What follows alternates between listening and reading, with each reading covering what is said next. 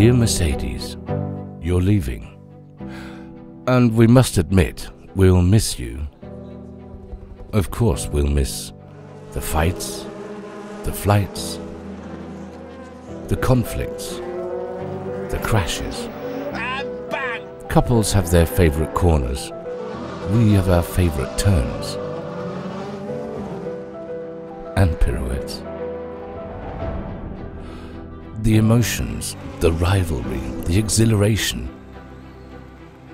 And what have we learnt from all of this?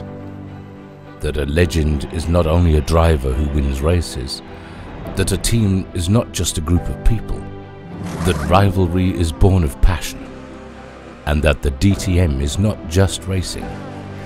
Together, we've made much more out of it. We held our breath, lost our sense of direction, left the track in the most spectacular way. Thank God we all came out alive. When only manhole covers could stop us, when all we wanted was to be swallowed up by the ground.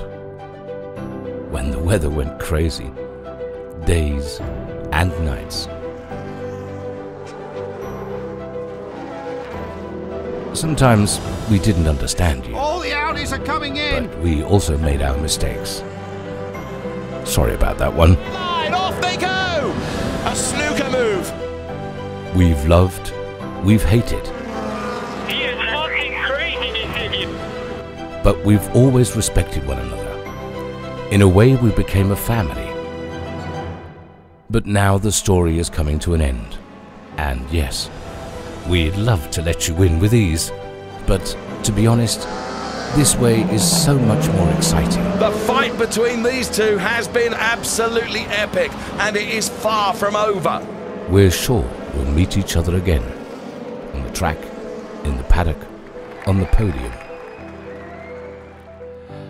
See you, Mercedes.